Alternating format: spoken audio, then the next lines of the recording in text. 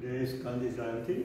I'm very happy to be here at the Indian Consulate General in Frankfurt and give a short address to the community here. I am particularly uh, interested today to point out the relevance of Gandhi in Germany today. It happens to be the end of the 150th birth anniversary of Gandhiji. At the same time, tomorrow is the 30th anniversary of German unification. And as we all know, German unification happened 30 years ago through entirely non-violent means.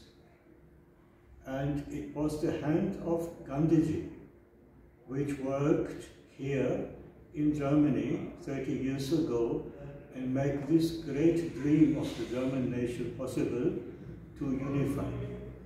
And today uh, I read in the newspaper large commentary about the success as of course also the weaknesses of unification and I am happy to celebrate both of these events today here at the Indian Consulate General in Frankfurt.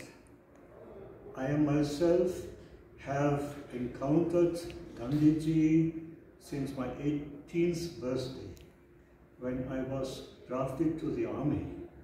And at that time military service was compulsory, but you could uh, also reject military service if you had a good reason. You had to be in front of a tribunal of the defense ministry, had to explain your reasons, and then you could do an alternate service in an old age home, in a hospital, etc.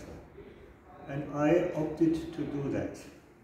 And in front of the tribunal of the German Defense Ministry, I quoted Gandhiji and got through right immediately at the first instance. Since then, Gandhi has been a kind of watchtower, and I am uh, happy to say that I have collected, translated, collected three volumes of Gandhi's writing in German language, which came out in several editions over the last 40 years. I've stayed in India continuously since 47 years. I'm right now here at this time of the year because of the the COVID-19 infections. To stay on a little more until everything has quieted down. And I would be happy to be back in India among my friends, among my family in a symbolic way as soon as possible. Thank you.